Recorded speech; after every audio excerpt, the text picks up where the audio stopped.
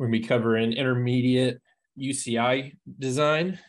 It's a pretty uh pretty simple class. If you've joined any of our uh, UCI and control fundamentals, a lot of the things we'll talk about today are covered in that.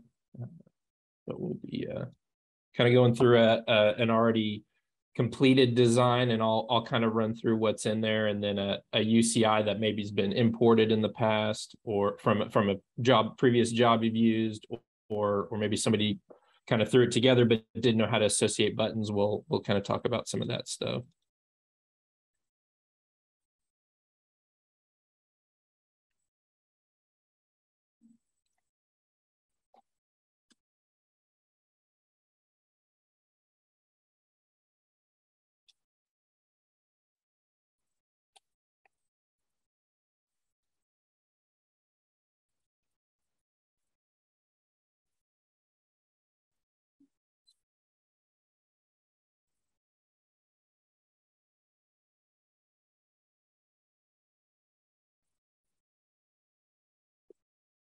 All right.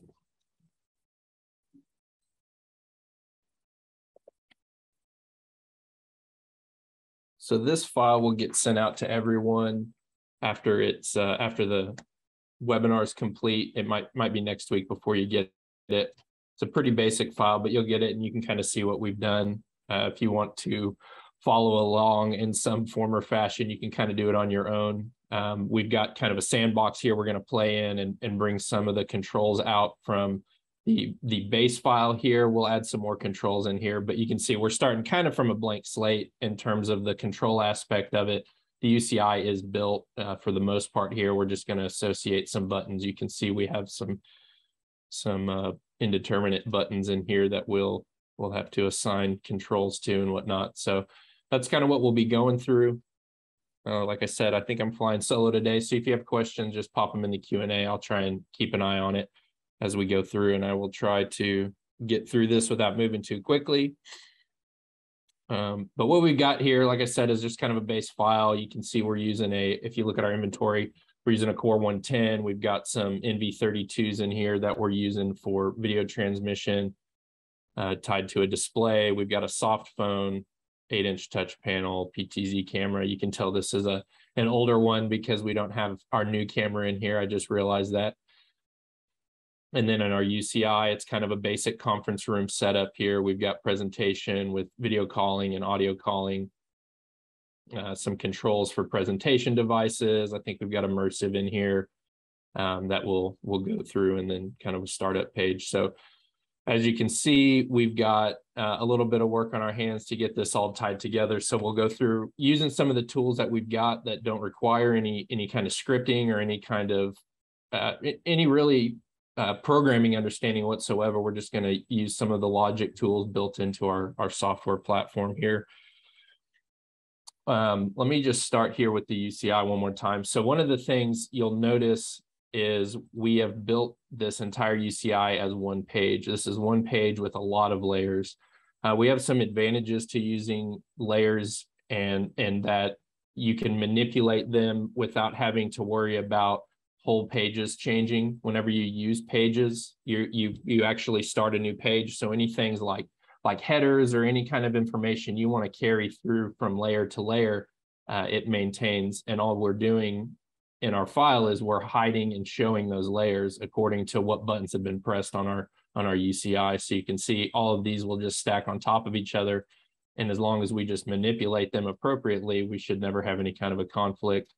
Um, so that's that's a, a really nice advantage to to using these. Another another advantage is being able to track what is going on on these pages. So if for instance, somebody's looking at their touch panel in a room and maybe you're using our enterprise manager for remote access, uh, you can dial in and see what's going on on the, use, the user interface if you use layers.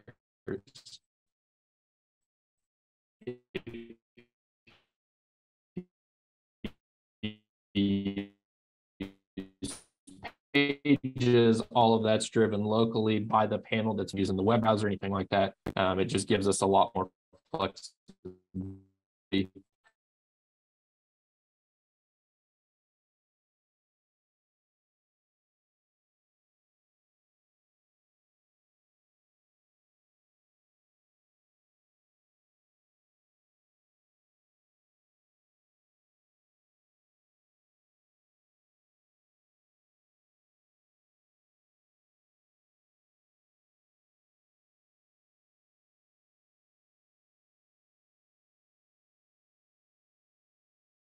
of the other layers in, in their Z order. So you can see if I show this start layer, it covers up everything because it's all the way at the top.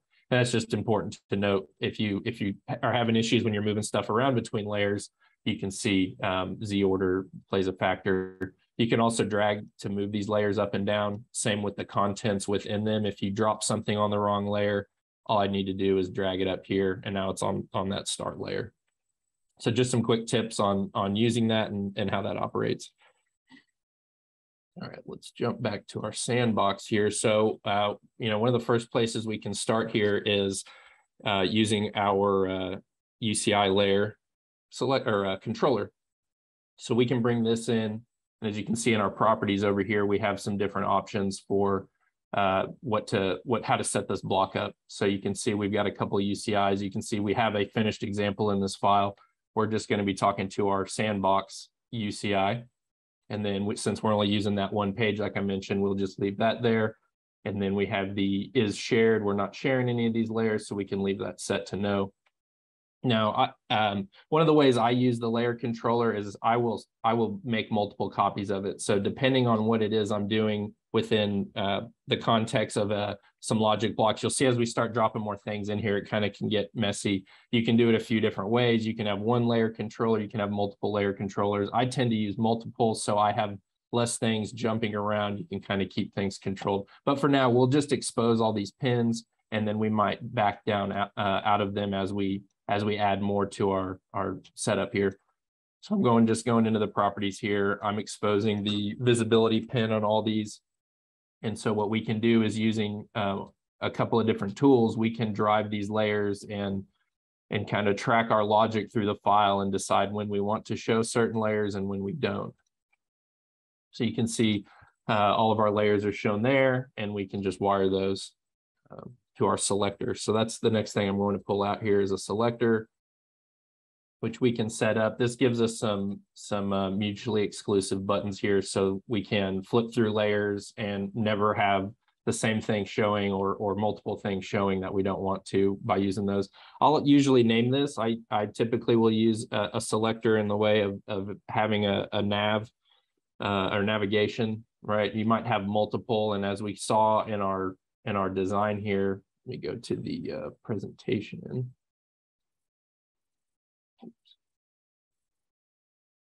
We have some different options. So you might have a selector for these nav buttons here, and then maybe you use another selector for these um, buttons here if they weren't, it, that's not the case in this design, but it could be depending on what it is you're doing in your system. But I'll always label these so I know that I'm, I'm using the right one, especially if I'm using multiple in a file.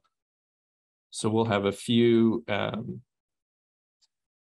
a few pins exposed there from our selector. So we drop the uh, in our in our properties, we we drop these selector one, two, three, four out, and now we have uh, some some pins here we can use.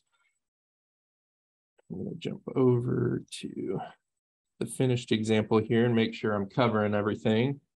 So we're going to show a couple different things here. So we're going to have our presentation uh, flag. So this will be a way we can wire this pin to other pins within our file. And this might move around a little bit as we go and start adding. But for now, we'll, we'll start with these. We'll have a VTC pin.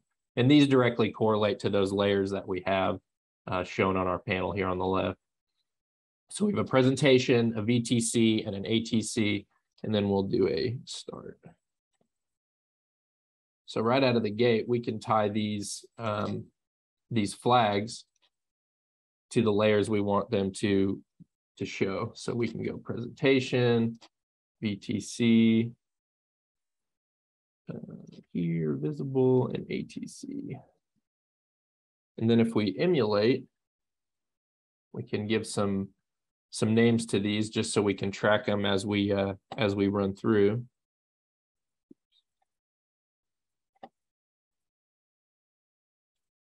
Station, VTC, ATC, and start.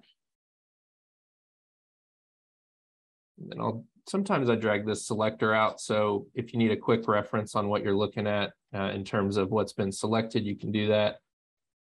You can see it right there. So I can copy these buttons. You can drag them over one at a time. Oh, looks like my last one didn't take there. You can drag these four buttons straight over to your sandbox. Um, let's see, I'm gonna dump them on this layer so they don't go anywhere. And we know that first one was presentation. So if I drag this button over the top of my presentation button here, I get this pop-up that says hold the control key to assign settings to this control. So if I hit it, you can see it goes green.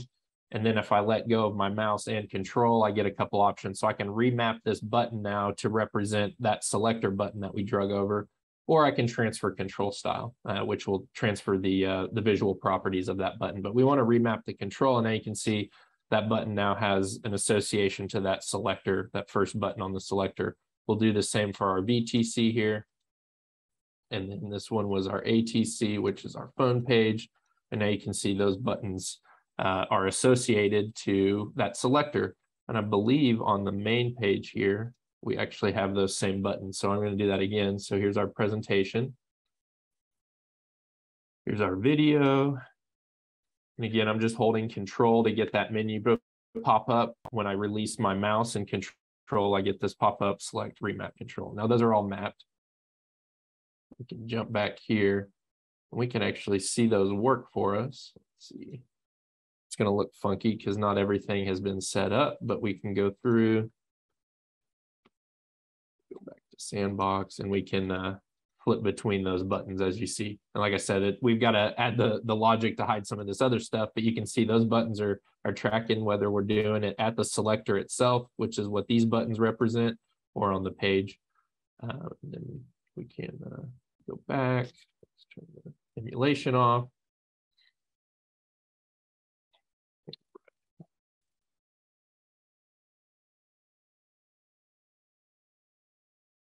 Something you'll notice with our layer controller and the and the names of our layers is we have uh, numbering next to them. That's specifically so in our layer controller block here, we get them in order and they don't jump all over the place. They're alphanumeric order. So if you had if you just had the the names of the layers, these these would be all out of whack. This kind of keeps them grouped in a way that uh, that makes sense when you're looking at it. And if you're if you're really curious about reading all those on the uh, on the block, you have to uh, make this block really wide and type in uh, type in something really long here and it will uh, it will stretch that block out. You can see now it's a little, little more visible. Uh, if you put any kind of spaces in there, it will create a line break and and that block won't get as wide. If you need to see those, you have that option there. I see a question here. Uh, is there a way to see what the button mapping is? So if I get a design, I can see where someone has mapped a, a graphic on the touchscreen to the design. You can do that. Let me show you how. So if we jump over to our uh, UCI here, I can click on a button and hit Control F, and I get this pop-up here that says jump to next copy of control or jump to source of control. So if I hit jump to source, you can see it snaps me back to where it came from and it highlights the button that I've that I've drug onto that panel. And this works back the other way. So I can click this VTC button, hit jump to first copy of control. You can see it went to this first copy because that was our initial copy to the uh, UCI. I can hit next and now it jumps to my video call, which is where that was mapped uh, to. So you can hit source and then first copy. You can jump around so you can always kind of see how that see how those are mapped. But pretty pretty quick and easy way to do that. Uh, since we know those are working, I'll delete them. Right. One other thing I will show in our UCI layer controller is we have the ability to add some transition effects to our to our buttons here in emulation mode, you can see we get some options, but we can have the layers fade and and slide in from different directions. There's a couple different ways you can map those. So sometimes those are useful if you want to make something look a little little fancier. Uh, when we get to adding our end call, we'll probably add some transition for that.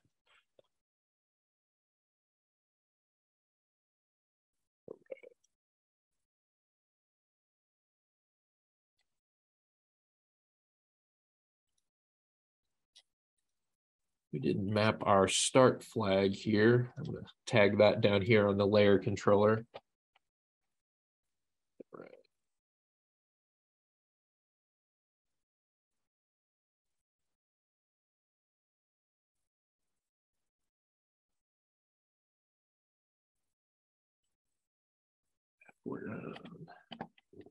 Okay, so let's show our VTC page and let's try and map some of these buttons and then map the logic on how and when we want that to, to show up. So we've got a couple different layers here. Let me start with the connect layer. So we've got a connect layer here. So we have the ability to track the USB connection to our core. So we know when something's been plugged in. So one of the advantages to having that is we can hide controls or we can tell the, the user, hey, you don't have something connected. So for instance, hey, you want to use the video call page, but you don't have your computer plugged in. We can we can tell them, hey, make sure you plug in the USB. So this could be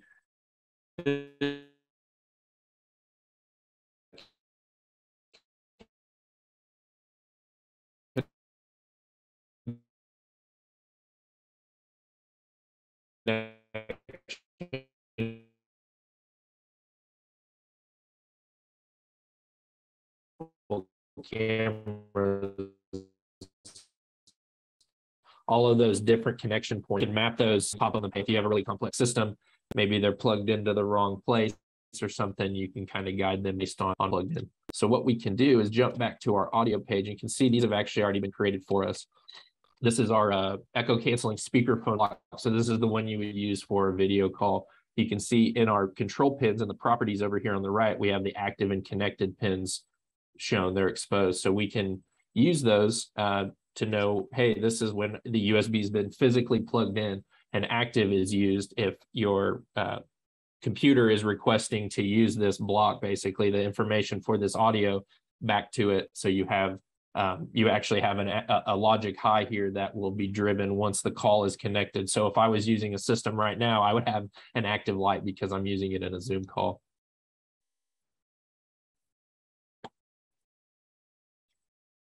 So I'll jump back. So we know that we've got that USB connected, but since we're we're emulating, we're not able to actually physically watch that map, uh, uh, that plugin map to a logic high or a logic low. So what we can do is we can actually come over to our custom or our uh, schematic elements and look up a custom control. So in our custom control, we can make this into a toggle button.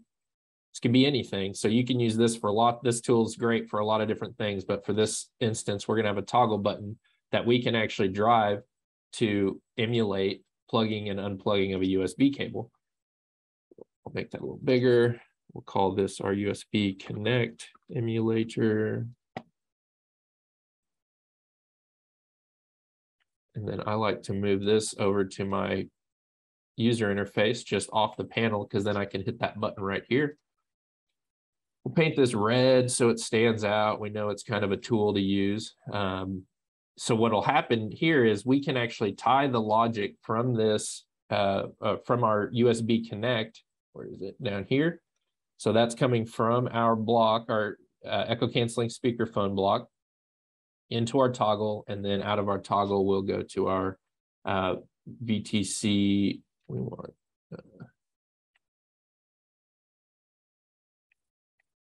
This will be, let's call it VTC connected.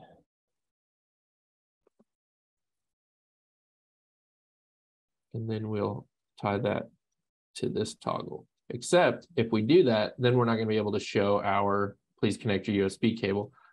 So we're going to have to use a control function, which we can monitor the highs and lows of our block. So we'll have an AND block. So I'm just changing that in the properties over here, and we're making it a two input AND block. So what we want to track is when our VTC page is selected, right? So the button on our, on our left uh, navigation, and then we want to see when the uh, USB is connected and then our VTC connect can go to that. So when we when we have a logic high from this selector being selected and a logic high from our USB being plugged in or our button being toggled, uh, we'll get two logic highs here, and then we'll get that logic high that'll drive our visibility layer on this side. And one thing to note is this toggle will track based on uh, real real time. So whenever you load this file, that button will be overwritten overridden by the actual physical plugging and unplugging of the USB cable. It'll evaluate, hey, this is a low, and it'll drive it low as soon as you load this file. And then as soon as somebody plugs in USB, it will it will take that a logic high. So it'll track for you. So you don't have to worry about putting something in and deleting it later. Uh, this can this can stay in line. So we'll take this logic and and I'm actually going to change this a little bit. So whenever this is not connected, we need a uh, logic high as well. So we're going to take another uh, logic function or a control function here. We're going to make it a logic not with an input count of one. And now we'll just basically flip that the other way. So the way that'll work is when this uh, USB is not connected, we'll get a logic low or zero out of this block into the not. When not is a zero, we get a one output, which will drive this high. So we'll get we'll get our two logic statements there and copy paste this as we started is I like to have copies of my layer controller and then I get rid of the things I don't want. So for instance, this block could be just my VTC layers. So I can come in here, hide everything else.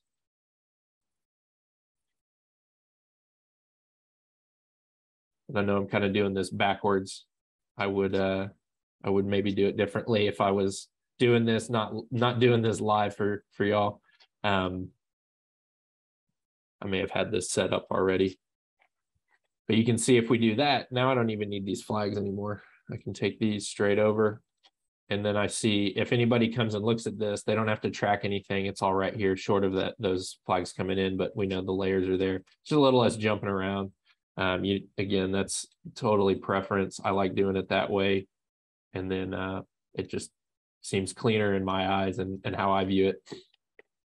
But now we can actually go and test this logic so we'll jump back to the sandbox. We can see we're not connected right now. So we're getting that layer pop up.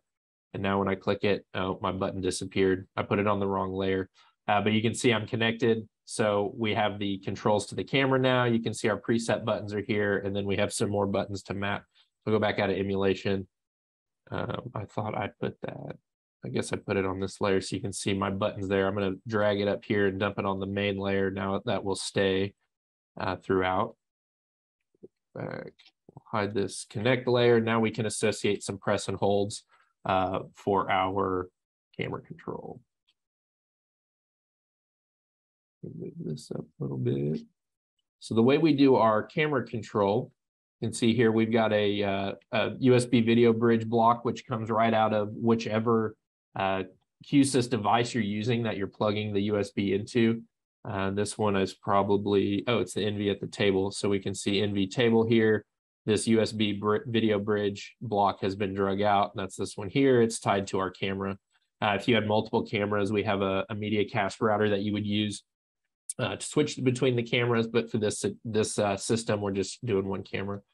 So the way we do a preset or a snapshot, we would come over here to the, our left panel, our design elements here, and we'll uh, go to snapshots we can create a new bank of snapshots and call it camera presets. In those presets, we want to track the coordinates of the camera. So all I need to do is drag, I've opened my camera block, I'll drag my camera uh, coordinates right up here to camera presets, and you can see I drop it in, and now it's anything that I change and then save within the presets, um, these will be affected. So right now, the only thing I have in there is the PTZ coordinates. Uh, if we had multiple cameras, you might drop uh, a camera router in there, and you might be able to save some some variations of those of those uh, presets based on the camera that's selected. It just all depends on on your system. Again, this one's pretty easy. So we'll drag over the presets, and then we have uh, another button to bring in, or or a couple of buttons here, and that are blocks. This is our press and hold block. So what that does is we can determine after a set amount of time uh, whether or not we get a logic high from our long press or a logic high from our short press. And that's done in the just in the properties of this block here when we open it up, I'll emulate. And we can set that to, let's go two and a half seconds.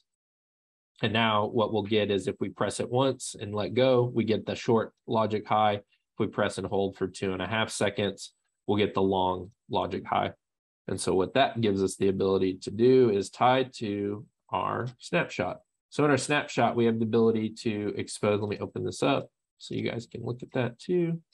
We've got our load buttons, our save buttons, and some others. We're just going to expose the pins for our load. I think we had four camera presets, so we'll expose the four load buttons, and then we'll slide down here and we'll do the same with our save. All right.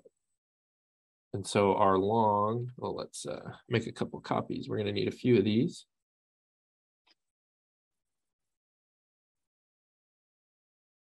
And then we'll take all of our longs, and I'm just doing a control and click. Our longs, we want to go to our save. And then we do the same for our short.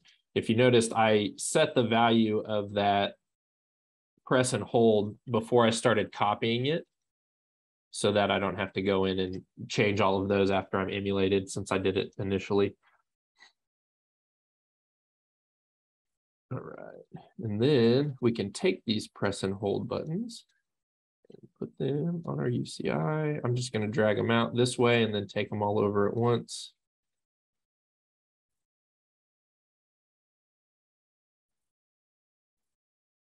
Cut those, jump over to our VTC page.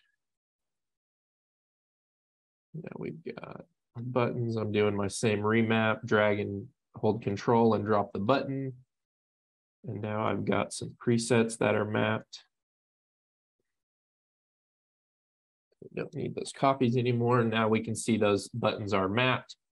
Um, and we can actually pull out our UCI. This is another way, uh, I forget to do this sometimes when I'm working on one screen, uh, but I can snap that, that uh, UCI block or the UCI physical UCI over here on the side and keep my schematic open on this side. But we can open up here, we can go in and see how our uh, presets are working. So I'll go back into emulation mode.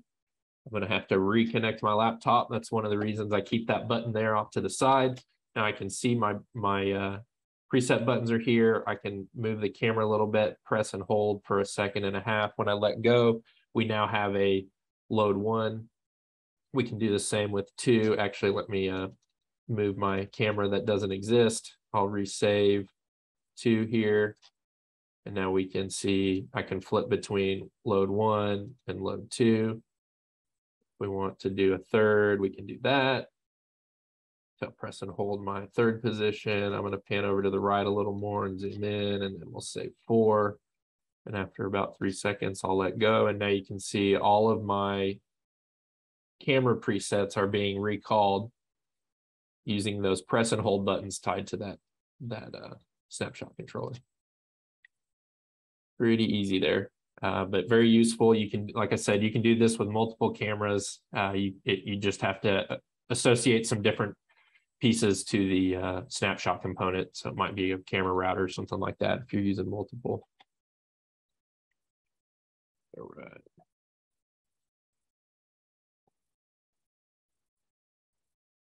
Let's jump to, I'm to close the UCI there, snap it back. We're offline. So let's look at our presentation page, our next section here. We'll go into our layers. Let's hide VTC for now, show presentation. Well, we've got some buttons here. So there's a couple ways we can do this. Uh, for instance, the uh, I think this system, since we have the NVs in it, let's jump over here to our layout. Yeah, we've got a laptop input at our table encoder, an Apple TV input, and a, and a Roku uh, or it says Roku, but it looks like it's meant to be immersive. Let's change that. Oops. There we go.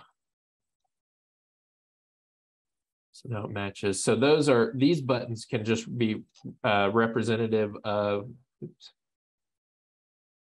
Oh, we're not doing switching there. We're doing switching at the decoder. So all those streams, the way that works is each one of those streams is independent of one another. Um, depending on the setup of the sources. So you can do your switching here at the decoder is what we're doing. Uh, so I'm pulling off my AV123, uh, which represent these connections. So you can see when I hover over the pins, I've got AV input one, AV input two, AV input three, and those are your streams coming into that.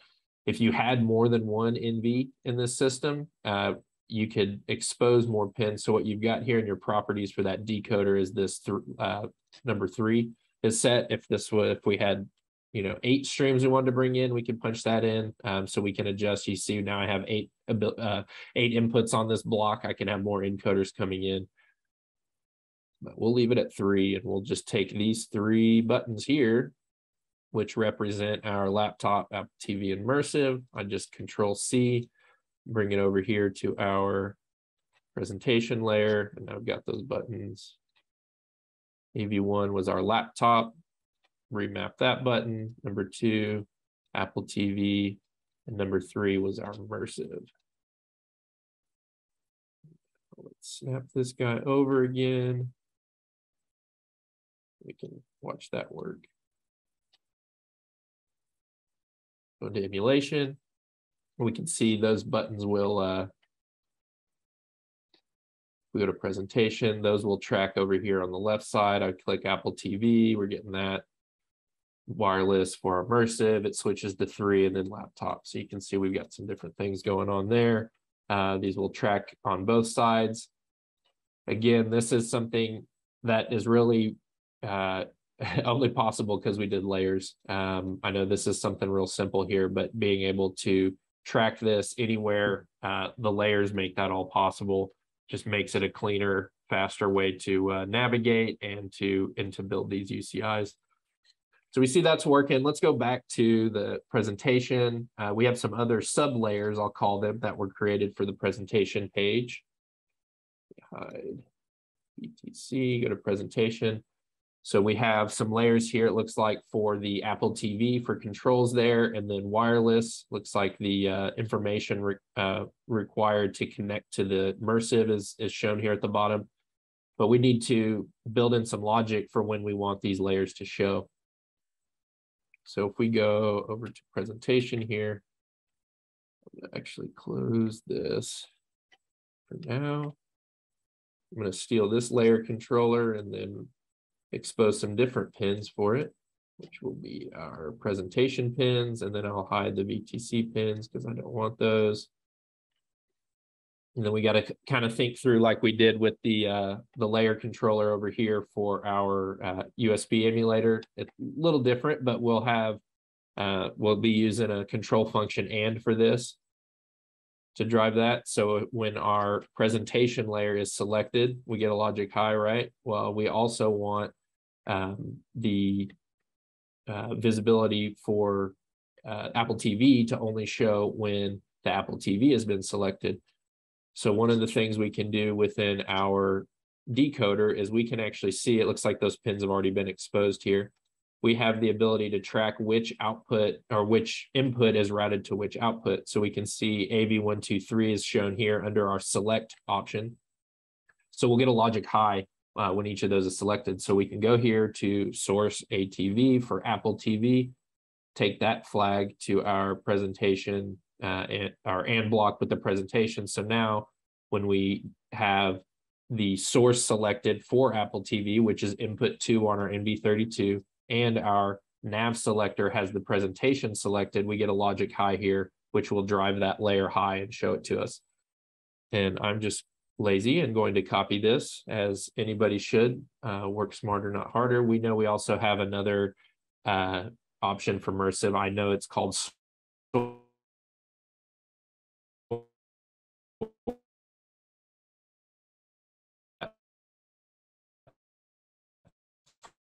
flag here from the source. Let me show my interface again. We can go back to emulation and we should be able to watch that work in real time. There we go. I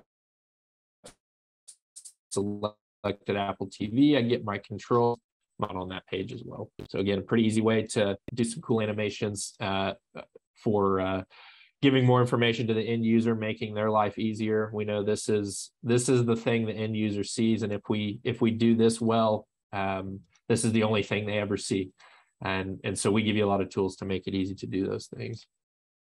All right, let's jump back over here.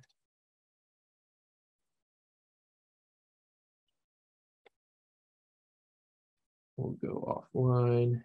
Something else we can do with our uh, layer is we can bring in a a banner whenever we're in call. So for instance, here at the uh, top, we've got this banner that's been created for us that we just want to show when our call's been off hook. If we've gone off hook, if we connected to a USB uh, device that's a, a, bridging device, we can track a few different places. If our camera's been initiated in a call, we can we can track that as well. So in our project, or I'm sorry, in our sandbox here, we'll go ahead and drag over a UCI layer. Take that one. We have in call here for visible. And what we'll need is another control function because we're going to monitor in a few places. Uh, we're going to look at our VoIP if you remember, we have a VoIP function in this or a VoIP soft phone in this system. We also have the connection for our camera and we also have a connection for our uh, USB speakerphone that we'll talk to. So I'll come over in my properties of this function. We want an OR because we want this to happen regardless of which function goes high. We want it to happen no matter what. So if we jump back to our project, you can see, remember we talked about our USB active, which is directly related to being in a call using the uh, echo canceling speakerphone. That's a different connection than if you're using um, USB for audio. So if you came into our inventory here, I think we can uh, we can turn on. See if it's here. So in our USB audio bridge properties, we actually have an option for sound card or sound card and speakerphone. Those are not the same thing your your your computer when it plugs in will will navigate which audio output you need to use obviously if you're in a call it's going to know to use the echo canceling speakerphone and if you're just playing uh, program audio it will use the sound card uh, but in doing that this knows since we're using just the echo canceling speakerphone this knows it's only going active when you're in a usb call so we can take that active uh, i'll copy that over to my or gate and we'll have oops I'll just do it here. USB active. And then up above that, we have the VoIP off hook. So in our, our uh, soft phone block, we have the ability to monitor when the phone's gone off hook. So we've got a flag for that that we'll put here. And then the other one I mentioned was our camera. So we have this USB video bridge that is associated to our NV32 that we're using in this system.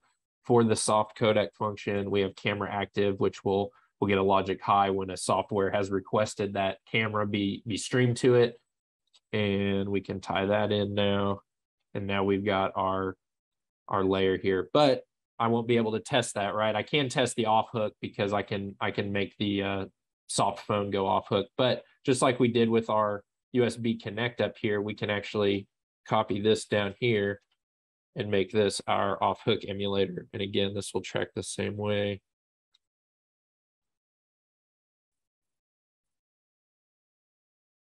And now we've got an off hook emulator with a button and we'll actually run the logic or through this. And I'll actually take this button and put it on my layer over here. We'll call this off hook so we know which one's which.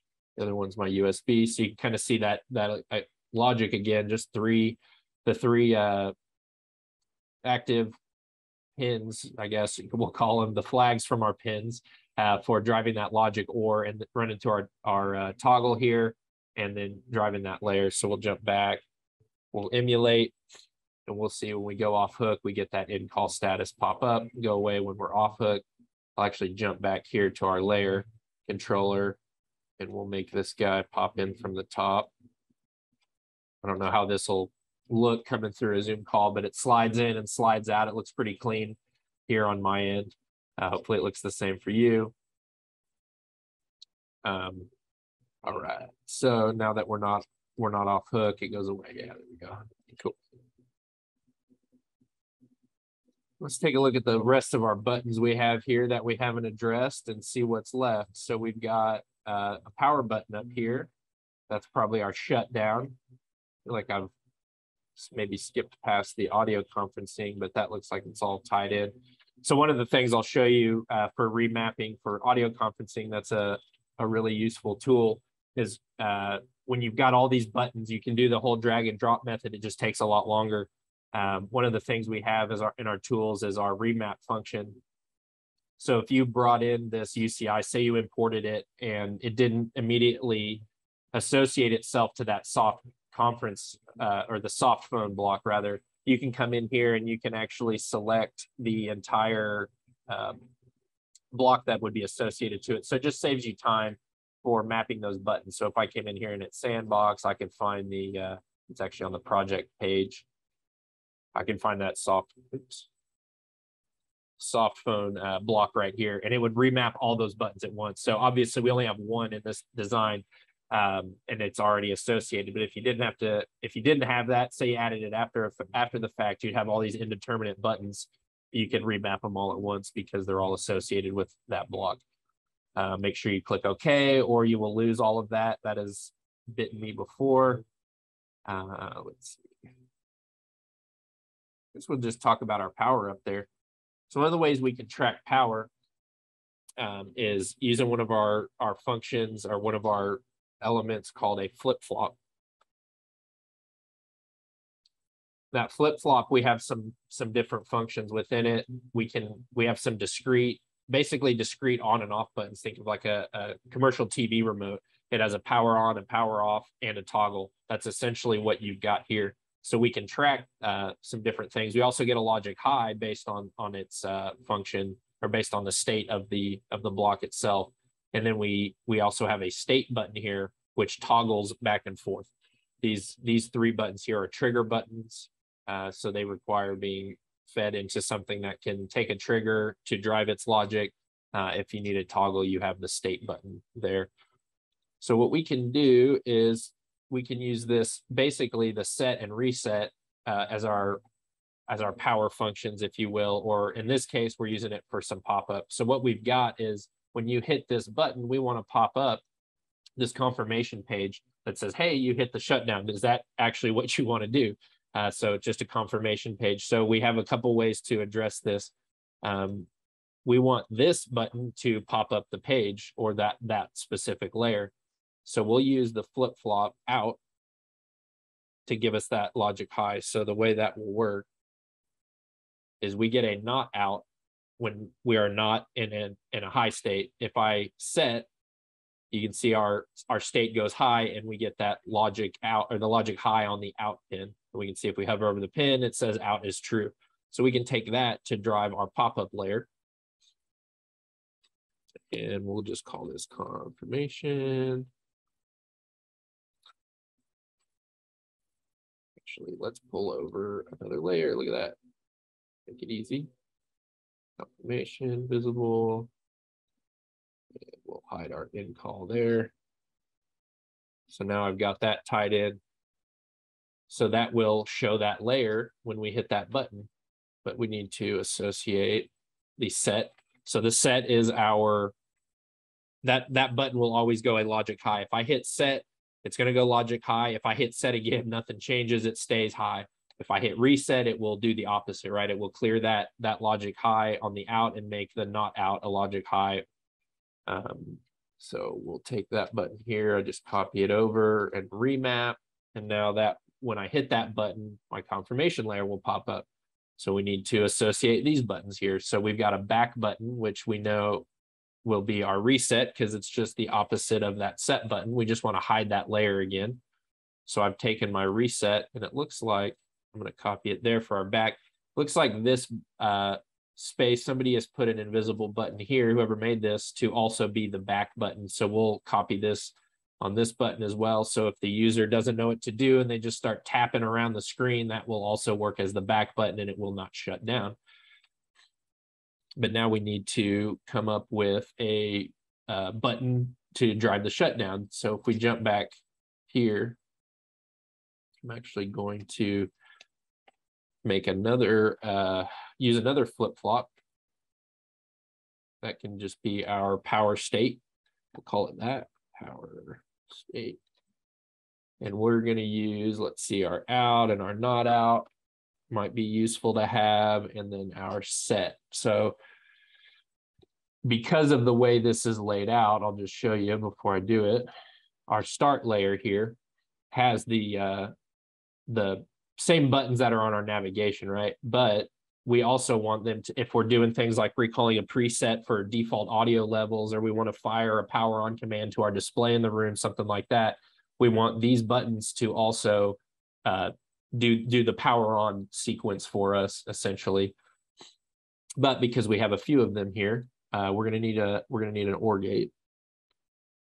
So we'll bring in a control function. Get three. And we'll take those flags and just copy and paste them down here. And now we'll get that power state. So the set, if you remember, is, is always going to drive our out to a logic high. So that's just power on. And sometimes I'll just flag things, even if I don't send them anywhere, I'll flag them so that we know uh, uh, what that is doing essentially if I'm using that for something. But that's just letting us know, hey, this is a this is a state uh, for power on. And then this will be uh, not out will be our power off, which we can see. We'll take that. Where did that go? Looks like that went somewhere. Oh, yep. So you can see in the file, somebody already flagged these mutes for power off. So when we get that logic high from the flip-flop, it actually will mute all of our audio outputs. So it'll silence the room. That's kind of a neat way to do it. But we also want that uh, power off here to reset our flip-flop, right? So if, if we think through that logic, if I've got this pop-up and we hit shutdown, we also want to hide this layer because this will still be showing, even if we flip to that start layer, when we come back, this layer is still going to be up. So we've got to, we've got to fire that back low so we can reset this flip-flop for our confirmation page with the power off, which comes from our flip-flop up here. And then we have to associate our uh, shutdown. Let's see our shutdown button, which will come from this reset. And I'll show you what we're doing with that. So our power off, we want to also show our uh, main layer. Let's see, not our main layer, our start layer. So we can actually have it select this selector here uh, when we hit the power off or when we get a not out. So this not out state is our power off. This button, remember I pulled from a reset, so that's always going to be power off. It's always going to drive this to a, this not out to a logic high. And let's see, you got to select the layer I want it on. And then we'll remap that shutdown button and delete. Go back here. Those buttons are all associated. And so let's, we can look at that logic one more time here because any of these buttons being pressed drives this to a logic low, this start to a logic low, that will uh, take away that start visibility, right? So that's our start visibility. So that will go logic low. By pressing any of these buttons, we automatically get our power state to a power on, which uh, basically turn hides the things we want it to hide. It it switches this selector off, which it doesn't really matter because we've already changed it here. Um, but we'll get a logic, we'll get that logic not out a low, which indicates that the power is on because our out is high. Delete this button and we can actually see that function now in the emulation. And I think we've associated all the buttons. Here's that we're in our off state right now. We can hit presentation, then go straight to our presentation page. We see that the Apple TV is there. Uh, looks like it was the last thing we had selected. So that's up we can do more logic to drive it to automatically flip to uh, what, whatever source we want on startup, but we can see all of our presentations working here. Our video call is still working. We can plug our USB in and see that page here, get our presets going, telephones here, uh, we can actually take our system off hook and we see that the call is in progress and it will stay there on all the layers regardless of what we do because we're still in a call. Our power off should work. We get our pop-up here, back, back if we don't click anywhere uh, on that page or anywhere on the uh, pop-up, but on the outside, and then we should get our system shut down. We get the shutdown and we're back here. Um, one more thing I'll do just to kind of put a cap on that is we'll add a fourth pin to our logic or here for our off hook emulator. And we can do a power off. We'll also hang up our phone call. That should work. Uh, let's see. Power off. Go off hook shut down. That didn't work. Oh, we need a not there. Just kidding. Where would be power? Let's see. But you get the idea. I won't mess with that. That's something I'm trying to add, but you could add it so that that uh that state goes a, a logic low. Um, we can do that with a snapshot or any different ways. But that kind of shows you, uh, that kind of wraps us up there. I mean, all those buttons are now associated. You can see, oh, there it goes. It went, it went logic low now. Um, but you can see we're not on the call anymore. But you can see we, we've associated all those buttons. We haven't written any code. We've just used uh, tools that are already available to you in the software uh, using selectors. We're using the flip flops. We've used a custom uh, control button here, some press and holds control functions. Uh, I'll hang on for a few minutes if if anybody has any questions or comments or anything like that. I'll I'll hang here until 10, but if any or until 11 rather central time. If uh you got any questions, I'll hang on, but feel free to drop off. Kind of wraps us up. Stop sharing.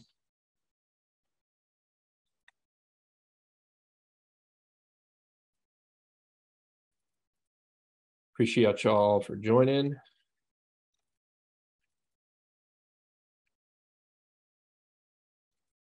We've got some uh, questions popping up here. What is the shared function under the touch panel setting? Um, I'm not sure I understand the question. If you're talking about maybe shared layer, if you have um, multiple pages, you can share layers between those pages. Uh, I am not sure if that's the uh, the question there. Let me share my screen again.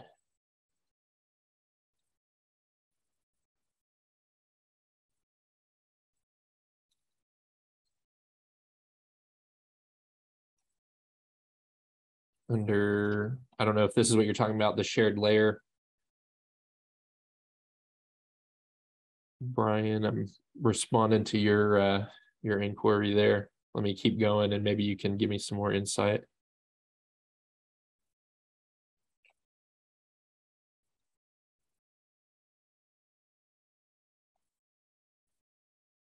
Uh, yes, this file will be shared. Um, you'll get it with a copy of this recording Thank you, thank you, shared pop-up. When you decided what the what UCI the layer selector was affecting. Oh, okay. So if you have the is shared, is that what you're talking about here? I think is uh, so if you have a shared uh, layer or shared file, uh, I'm sorry, a shared layer between pages, you would uh, you would select that. Um, we can also go in see if there's a little more info here. Uh, Give me a second.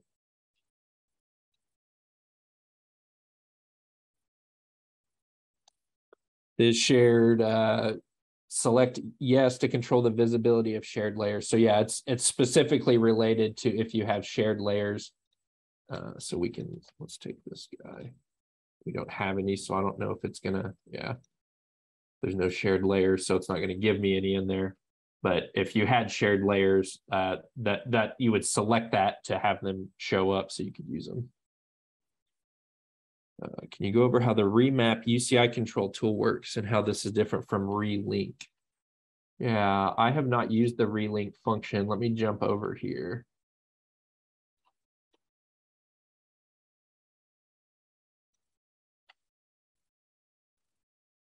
I don't have any options. Let me.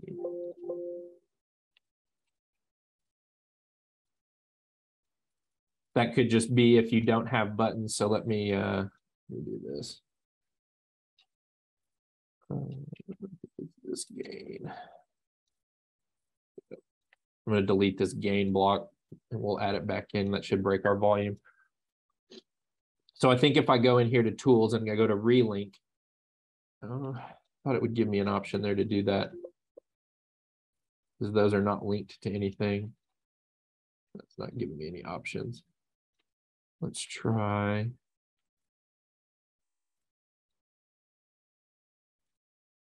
Just a second here. Look at our handy dandy help file. Uh,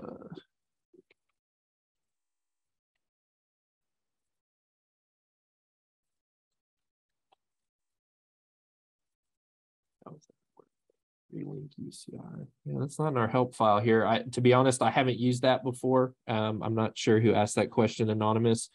Um, I'm I ha I have used obviously the uh, the remap tool, um, which I'll I'll jump back in. I'll just show how uh, how that could be used here on the. Uh, I just use the soft phone as an example because it's it's one that has a lot of buttons that you might want to remap all of those buttons versus some of the other blocks. So we'll go UCI.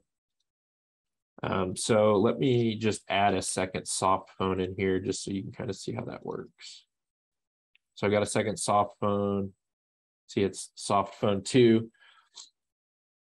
If I go back to my control here or my user interface, I can go to remap and then I can say, okay, the uh, soft phone one is what this is associated to currently. Those buttons are all associated to soft phone one. But if I come in here, I can actually select soft phone two and you can see actually that text changed because it's not been used before.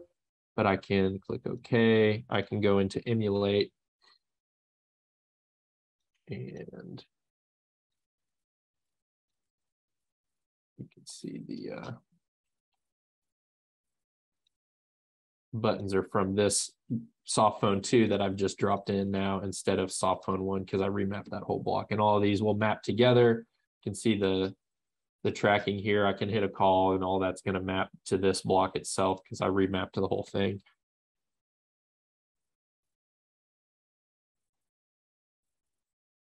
Yes, you will get a recording of this class. Um, thanks for joining example of how to tie into a VTC program, uh, team zooms, etc.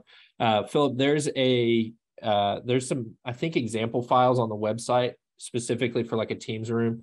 Um, if that's what you're talking about, we have the skins for the the style sheets in there, so you can you can match colors and icons to look similarly to something like Teams. Um, but essentially your your audio is going to look the same way. You're going to use you're going to use these these speakerphone blocks. You're going to connect via usb to the to the computer uh, that that is hosting the meeting. It's it's going to look very similar to this. That's basically what this is. Uh, it's universal though. If you come into the properties if you're using zoom there is a setting here.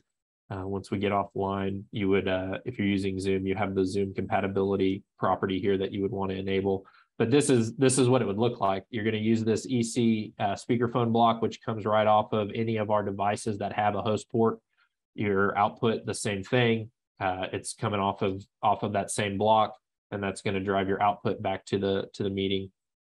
Uh, you have some other functions in here that we didn't talk about. Uh, we do talk about it if you if you join our UCI control fundamentals. We go into each of these blocks, but you have HID conferencing, which gives you some control uh, of the of the soft uh, conference software that you're using. So if you're using Teams, you'll get some feedback from Teams, that sort of thing. You have call, accept, decline, phone mute, so you can actually have it track on screen your mutes. If you mute in in this software, it will actually show that you're muted in in uh, like the Teams software as well. So there's some other blocks here that you can use, but essentially it's it's the same thing. I hope that answers your question. Let's see.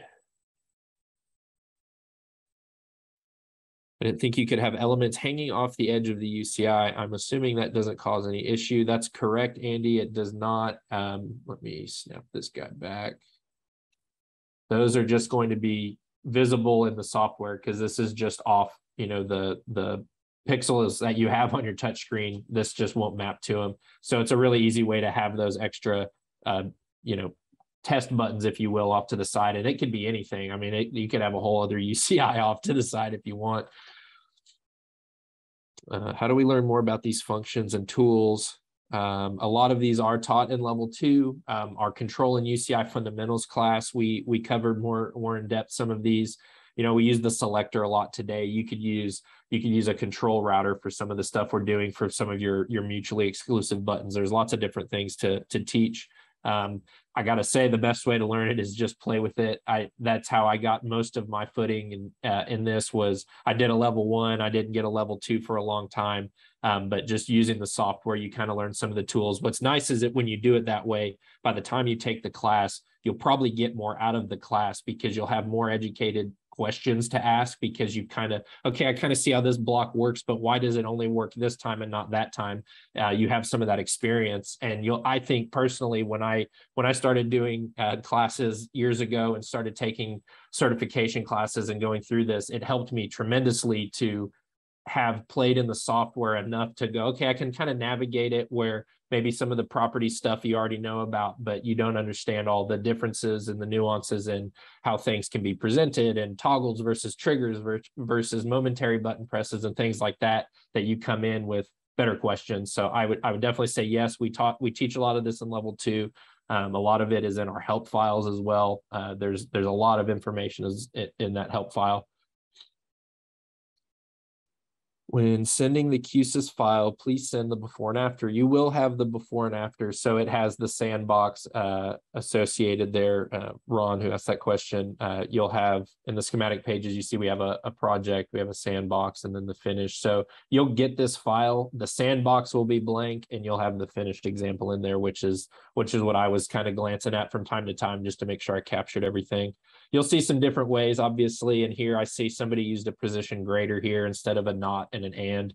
Uh, lots of different ways to to uh, accomplish the same outcomes.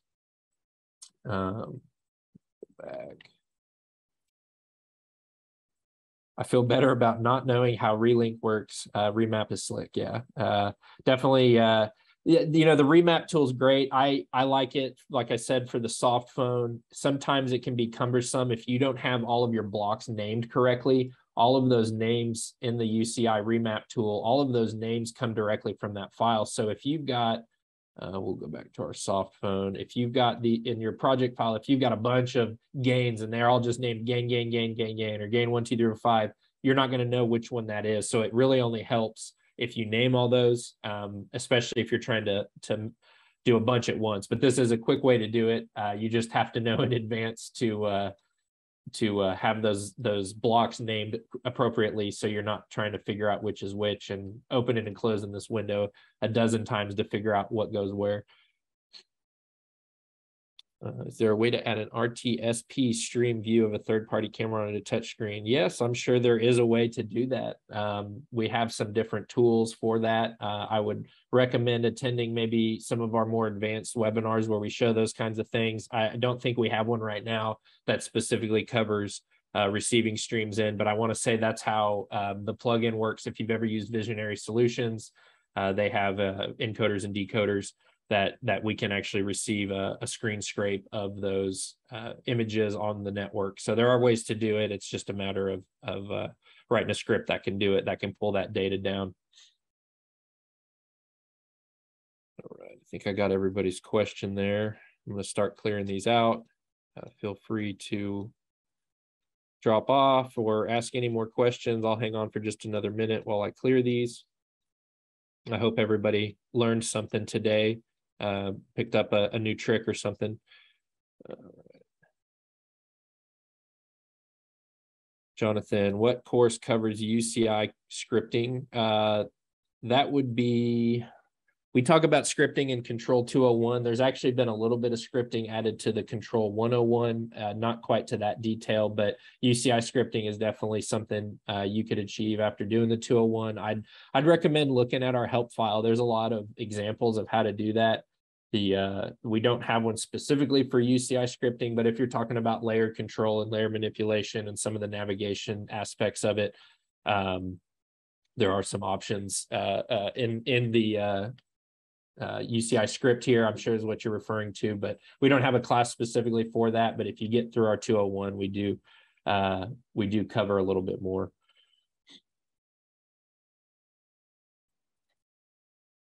All right. Yes, it is dreadful. I agree. Um, more to come as we unlock more more capabilities. You know, that's something I know a lot of people want to see out of the NV32 is is a uh, an image uh, preview on there and and all all of the things are heard and all of those requests are we know about and we we want to see those too. Um, there's there's only so many hours in the day for the guys to work to add new features. So those they do get put on a list and they you know as things are possible and we we do add them in. So just keep your eyes on the uh uh for something more native keep your eyes on the the software releases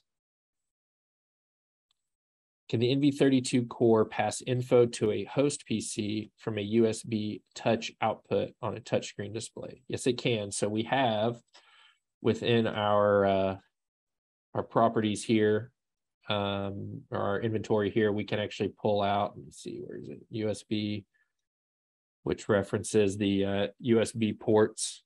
I believe that's the right one. Let's see. Yep, there you go. So you get a, this would, this output would represent the host device. And uh, these four ports would represent the uh, the four USB A ports on an NV. So you could actually connect things like a touch screen through this. You could do a keyboard and mouse if you wanted to. Um, definitely, you can also use our if you've got multiple NVs in a system. We have the uh, USB router block, so you could have multiple in here and then give somebody the ability to switch. You can automate it, you can control it however you want, uh, drive it with logic, but you have the ability to do, uh, I think it's up to 250. Uh, let's see, see if it tells us 64. I apologize, 64 um, by 64. So you can do a lot of uh, of extension for touch screens and computers and uh, a keyboard and mouse, that sort of thing. We actually we're going to set that up here in our training center. I'm in I'm in Austin here in our training center. Uh, for those of you that don't know me, I don't even know that I introduced myself. Uh, I apologize, but we have uh, we have uh, touch screens in our training room that we uh, had planned on doing interactive through the NV back to our head end, but we're actually going to upsize those displays. But it is a it is a function that we that we support.